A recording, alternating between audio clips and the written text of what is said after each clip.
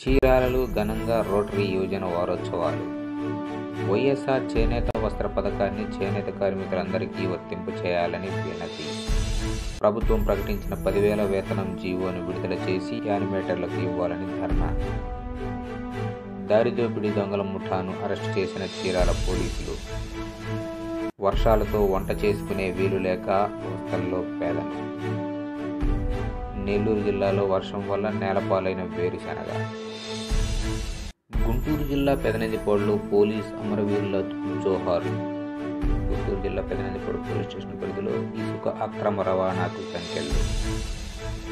సింగరాయకొండలో Kondepi YCP in charge doctor Madasi Venkaiah పర్యటన. బ్యాంకుల విలీనానికి నిరసనగా ధర్నా.